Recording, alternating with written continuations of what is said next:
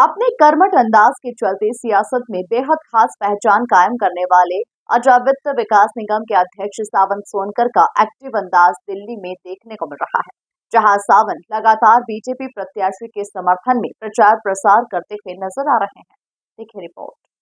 संगठन के लिए सदैव समर्पण भाव से काम करने वाले अजा वित्त विकास निगम के अध्यक्ष सावन सोनकर इन दिनों दिल्ली में चुनाव प्रचार करते हुए नज़र आ रहे हैं, जहाँ वे लगातार बीजेपी प्रत्याशी के समर्थन में बैठक ले रहे हैं और प्रधानमंत्री नरेंद्र मोदी के साथ साथ सरकार की योजनाओं को लोगों तक ले जा रहे हैं। दिल्ली के चांदनी चौक लोकसभा में पसीना बहा रहे सावन सोनकर स्थानीय नेताओं के साथ कदम ताल करते हुए जनता के बीच पहुँच रहे हैं और जनता से बीजेपी के पक्ष में मतदान करने की अपील कर रहे हैं।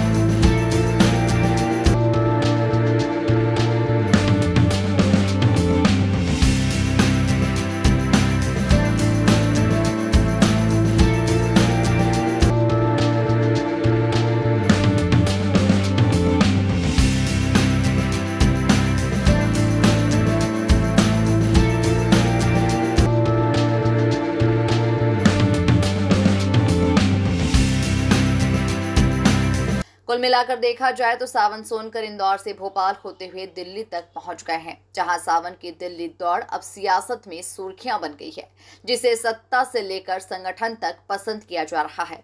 Bureau report, MP news, Bhopal.